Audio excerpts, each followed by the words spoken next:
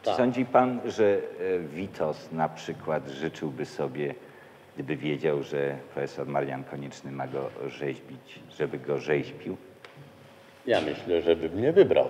Czy Jako, coś wspólnego jako syna, Witosem? syna chłopskiego, syna wsi chłopskiej, a także syna wójta Jasionowskiego w tych Wierzchosławicach.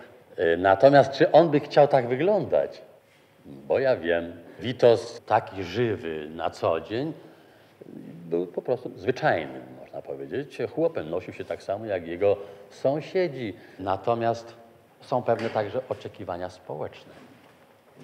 Znaczy, jak chce naród widzieć tego swego bohatera. Mimo, Z że tym nie się- zawsze jest to zgodne, że tak powiem. Mimo, że nie zawsze jest to zgodne z rzeczywistością i, i zawsze jest tu pewien kompromis. Czy ideologia, którą wyznawał Wincenty Witos, też jest panu bliska? Jako polityk Witos mm, ma, mamy mu dzisiaj wiele do zarzucenia. Za jego premierowania krew robotnicza w Krakowie się też przecież lała. Ale jeśli tę postać y, rzucimy na tło naszego tysiąclecia państwa, to nagle ona nam urasta do tego symbolu, mocą której ten stan chłopski, ta klasa, upodmiotowiła się w sensie społecznym i politycznym.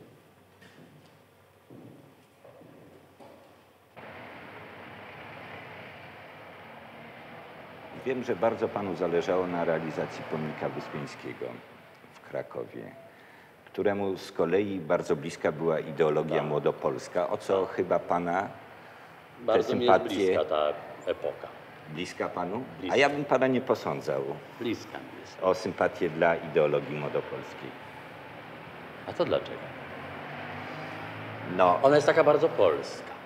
Bardzo taka właśnie artystowska i jednocześnie taka jakaś zapładniająca. Ja jeden z pierwszych w ogóle, nie, może powiedzmy, sformułowałem, że jest to czwarty nasz wieszcz. To wypowiedzenie moje było chyba na podstawie tylko i wyłącznie jednej rzeczy. To jest wesele. Inne według mnie są gorsze. Natomiast wesele jest to sztuką nad sztukami polskimi. Oczywiście, że to jest przetransponowane. To nie jest żywcem wzięte wesele. Jest tam i ta